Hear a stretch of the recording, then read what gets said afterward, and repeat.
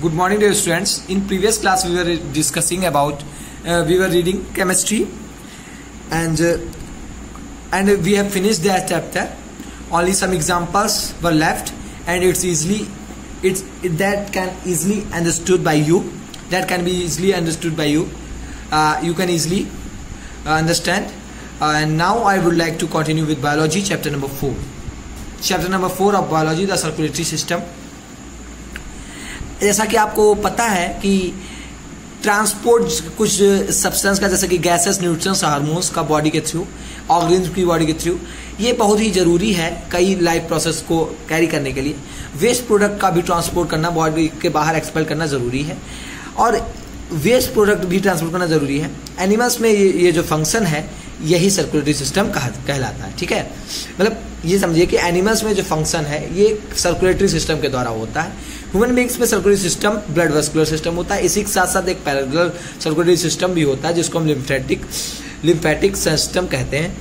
ये जो होता है लिम्फ वेसल्स और लिम्फ नोड्स के नेटवर्क से मिलकर बना होता है। लिम्फ नोड्स और लिम्फ वेसल्स के थ्रू जो है लिम्फ फ्लो करते हैं। उससे पहले मतलब फिर से फिर से समझिएगा। लिम्फ जो है ब्लड वेस्कुलर सिस्टम को ड्रेन करने ड्रेन ड्रेन करने से पहले किससे फ्लो होते हैं? लिम्फ नोड्स और लिम्फ वेसल्स से। और आपको ब्लड वेस्कुलर सिस्टम के बारे में पहले से ही थोड़ा पढ़ता है, लेकिन हम उसको डिटेल में पढ़ते हैं। Blood vascular system. ये दो चीज़ों से मिलकर, ये मतलब blood vessels blood vascular system जो है ब्लड ब्लड वेसल्स और हार्ट, तीन चीज़ों से मिलकर बना होता है। फिर से समझिएगा, ब्लड ब्लड वेसल्स और हार्ट। अब सबसे पहली बात ब्लड। ब्लड ब्लड एक लिक्विड कनेक्टिव टिश्यू होता है।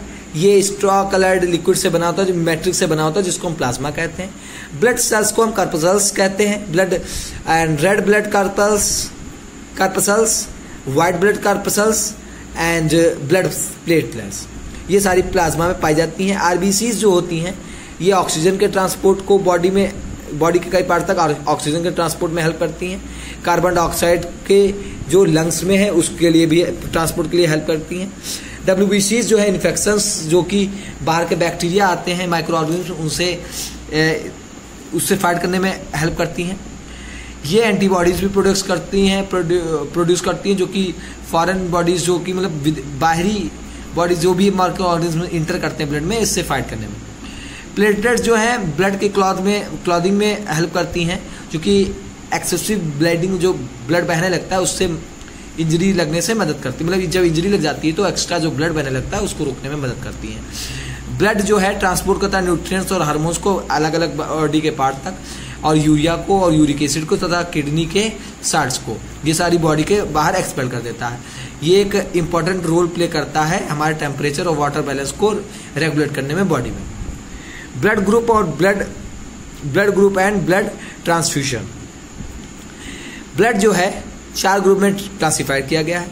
सिस्टम के हिसाब से जो डेवलप किया गया था कार्ल एंड स्टीनर के हिसाब से, ये क्लासिफिकेशन किसके द्वारा किया गया था? कार्ल एंड स्टीनर के द्वारा 19 में 1900 में। और ब्लड ग्रुप्स जो हैं, ये डिफरेंट होते हैं। ये जो डिफरेंट होते हैं किस बेस पे होते हैं? एंटीजन के बेस पे डिफरेंट होते हैं।